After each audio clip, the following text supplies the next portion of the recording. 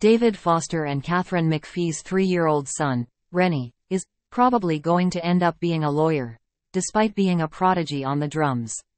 He's kind of going off the drums right now, Foster, 74, exclusively told Us Weekly at the Academy Museum's Stars of Science event on Saturday, April 13. So, we'll see where he goes. Apart from drumming, Rennie hasn't picked up a talent for playing another kind of instrument.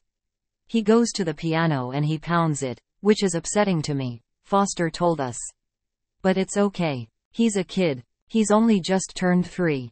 Rennie's drumming skills made headlines earlier this year after Foster posted a video of his then two-year-old son sitting at a mini drum set, perfectly playing along to Michael Jackson's Rock With You. Rennie joined his famous parents on stage at one of their shows in Washington, D.C.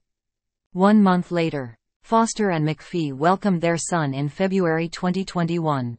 They were first linked in 2017 and got engaged the following year, tying the knot in September 2019. Foster previously told us in January that he has no idea how Rennie picked up the drums so easily as he is not a drummer himself. That's the real mind-blowing thing, he shared, adding that Rennie is not even potty trained.